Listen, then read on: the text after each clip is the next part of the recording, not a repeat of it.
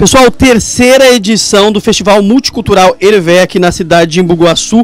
Uma integração de, de arte contemporânea, arte moderna com a natureza. E claro que o Passo Cultura veio conferir. A gente vai falar com o Júlio, que é o curador né, dessa terceira edição do festival.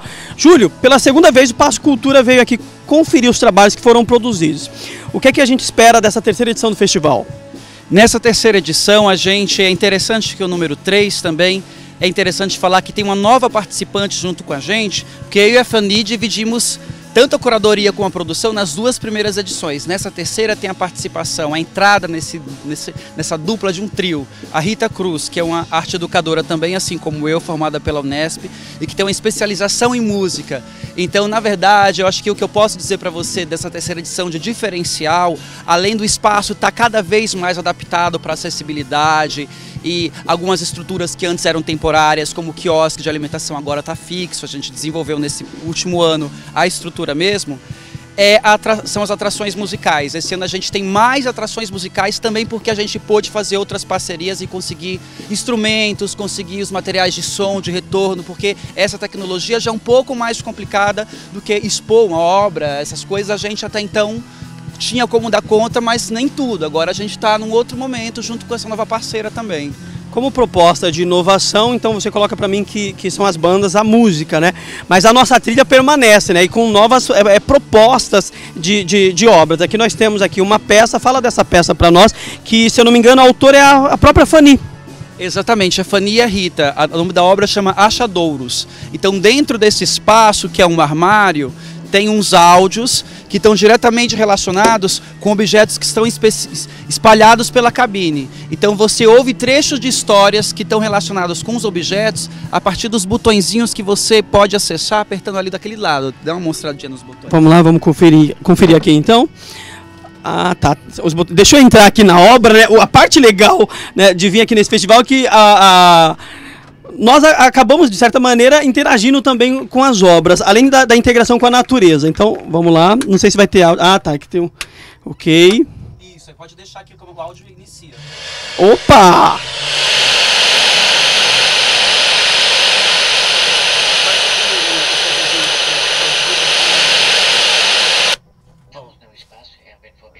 Ó, segue o som. O naviozinho que tá. Isso.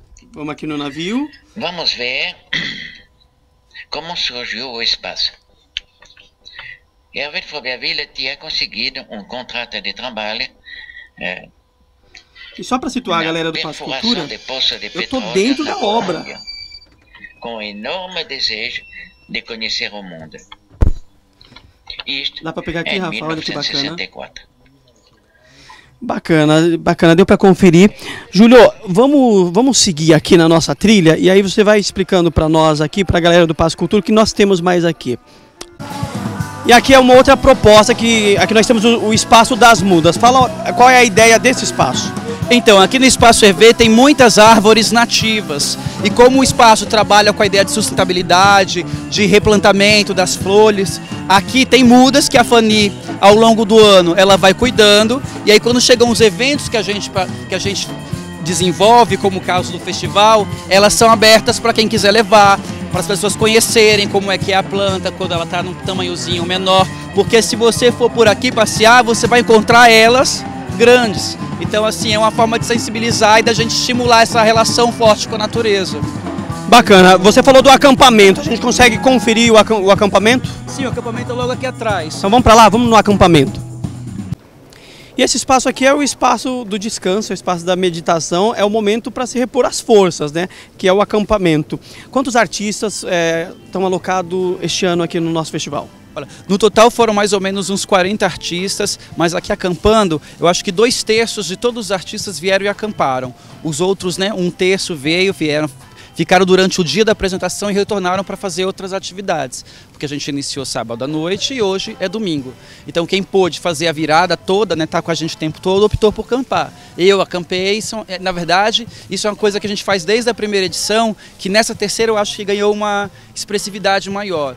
O espaço é muito próximo de onde acontecem as apresentações, tem a estrutura do banheiro, com chuveiro, tem a água, então assim, a iluminação Ou seja, noite. toda a infraestrutura para acolher os artistas, ela foi observada e isso é importante, né? Sim, a gente inclusive usa. A ideia é que o público cada vez mais venha para isso.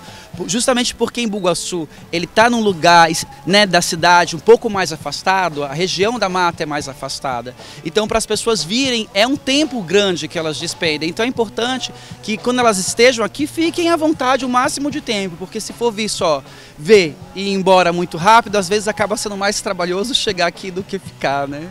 Um outro, um outro espaço que bastante charmoso, né, que eu acabei classificando como a arena de exposição, onde nós temos vários palcos, né, e eu queria te conferir, é, te convidar para conferir é, é, conosco. Vem, vem, vem com a gente, vamos conferir esse espaço.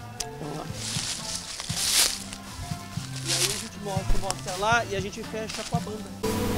E como eu falei, aqui é a nossa arena né, multicultural, onde temos toda essa integração de natureza com uma diversidade de artistas de vários segmentos. Qual foi o conceito para montar esse espaço? Então, a gente, ao longo das ocupações das duas primeiras edições, a gente pensou em espalhar locais onde pudesse abrigar justamente a diversidade de, de linguagens artísticas. Então, um espaço coberto, onde seria o palco, o quiosque com alimentação e um espaço para as pessoas comerem. Esse ano a gente deixou mais estruturado o espaço das mudas que a gente viu agora há pouco. E a arena como um todo ela fica aberta junto com a fogueira para apresentações. Ontem mesmo o grupo Artesãos do Corpo ele fez a apresentação deles é, com a fogueira por trás. Então tudo que eles fizeram tiveram teve a fumaça da fogueira o tempo todo como um vulcão ali emoldurando a situação. Então assim o artista quando ele vem aqui ele, ele justamente eu acho que ele se ele tenta extrair da natureza alguma coisa nova para dar um uma nova sensação para ele de fazer aquilo, né? E, e, nós acabamos percebendo isso, né? O artista ele traz para esse festival, ele traz muito, né?